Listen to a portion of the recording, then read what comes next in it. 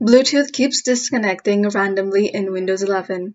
Hello guys, this is Sarah from Create Login and Delete. Let's get started. So this problem may arise if you have lots of Bluetooth devices connected. So what you can do is remove individually and see if removing one or a specific device solves the problem. So you can come over to this setting by just going to your window and tapping the setting icon here and then go over to devices. So click on Bluetooth and other devices, and you can just click on the devices that are paired and click on remove device. So if this doesn't work, what you can do is move the Bluetooth device away from any device that may be using the frequency comparable to Bluetooth, such as microwave or Wi-Fi routers, as they can cause disturbances and impair the Bluetooth signal. This can lead to poor connectivity, interrupted connections, and even complete disconnections.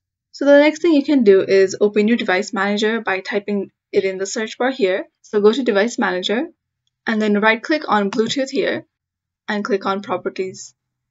So expand Bluetooth here and come over to Bluetooth device and right click on it and click on properties. So you'll be able to see if this device is working properly or not.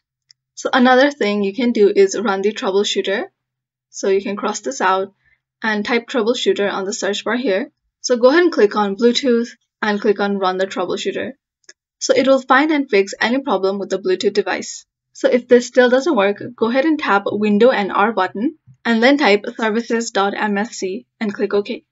So scroll down and find the Bluetooth support device and right click on it and click on properties. So you can go ahead and restart this Bluetooth service by clicking on stop and then clicking on start again.